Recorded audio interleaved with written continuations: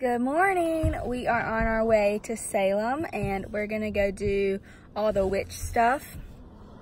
Um, and it's supposed to rain this afternoon when we're doing one of our tours, but hopefully it'll hold off until then and we just have to walk around in the rain in a little bit.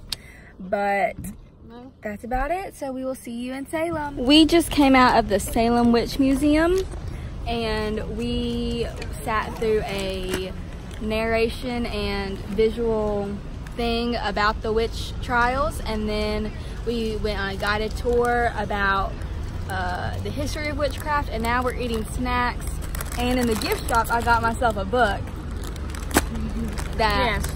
The only child who gets a book instead of a t-shirt. well I didn't like any of the t-shirts in there but we're gonna get a t-shirt later so we we don't know what we're doing next but we're gonna figure something out so we will see you at our next stop. This is just to showcase how far in front of everybody I walk because apparently I walk quite fast and they don't know how to keep up with me so. In the witch trials memorial where and if you see these stones that are sticking out those are the victims um, in order of where in chronological order of when they were executed. And so while we are waiting over in the side he is reading the paper every single word What's he reading? Oh, he's reading the little descriptions about all the people stones, but it's not really that necessary because we just heard about it. We are now in the second oldest graveyard in America.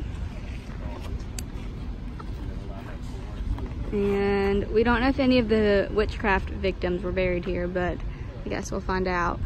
We are at Brody's Seaport for lunch. Mom and I are splitting fish and chips. Rosie got a burger with fries, and then Dad got the fish tacos. So if y'all don't know, Rosie and I uh, love ranch. We eat ranch with everything, and we asked for some ranch. But this is not buttermilk ranch. This is like spicy ranch. It tastes weird. But we're still gonna eat it because we gotta have our ranch with our fries, right? I mind. I just go to ketchup probably. Okay, so this is our normal day when we go out. We go and see a few things, we walk around a little bit. We eat a snack. It's like we've already eaten a nice breakfast. We eat a snack. Usually, yep, usually around noonish. So we can have a late lunch or early dinner. Well then for the next hour to an hour and a half, all we hear is where we're gonna eat. What are we gonna eat? What can we find something to eat? What are we gonna eat? So then we have to spend all of our time, even while we're doing our tour and looking at those stuff, trying to find somewhere to eat that they can eat at. So if you don't have teenagers but you have little kids, this is what you can look for. Where are you going to eat? So that becomes the most important thing in their entire life. Right, Rosie? but The this. This is Elizabeth Montgomery as Samantha Stevens. It's her statue from uh, Bewitched. Mom is a huge fan.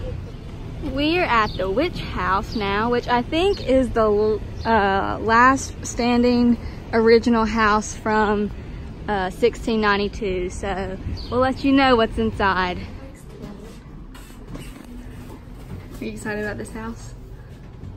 it's nice. I'm just hot. Uh, Yeah, she's wearing a rain jacket. Hey, I'm the only one prepared for every situation around here. And she's got her Crocs on in case it rains.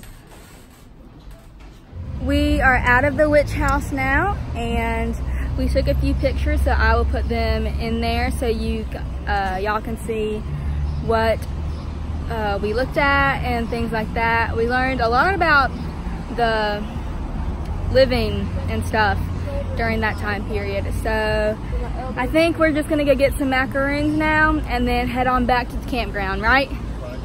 So we will see you when we eat the macaroons. I also forgot to mention that the witch house is the judge is Judge Corwin's house. So he was pretty rich and dad says he was probably a loyalist, so.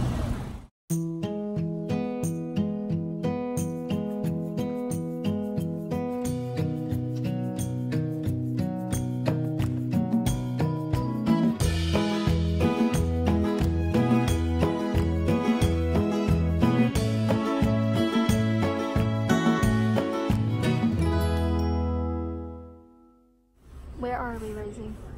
In an antique store again. How do we feel about that? I words can't even describe how I feel about an antique store or a Goodwill. Yeah, we don't like them, but we're about to leave, so that's good. Okay. Peace. We have gotten our macaron macaroons, or macarons, I don't really know how to pronounce it. We have raspberry, lemon, lily of the valley, vanilla, chocolate, and lime. And Dad has got to eat his lime, so here he goes. Well, now, I thought I'd get two. No. No?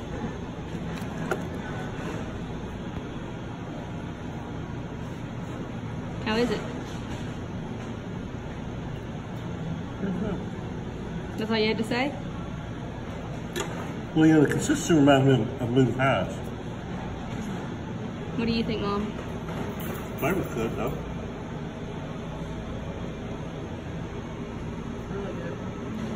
Y'all, it has started raining and look who's wearing their rain jacket. I guess she's prepared after all. Yeah, always be prepared. There's like a hundred percent chance of rain at this time. I would just like to document this sketchy elevator that we're in to try to get to the parking I feel like it's 99 degree or 99 percent humidity in here, and it's going to rain. I'm waiting for this thing at to any just minute break and get stuck between floors. It's so hot. So we are gonna play some Phase 10 tonight. Mama's And, going to win. and tomorrow we're gonna be on the road to Bar Harbor. And uh, that's about it. So we will see you tomorrow. There'll be no sore losers tonight or you'll be sleeping outside. Bye.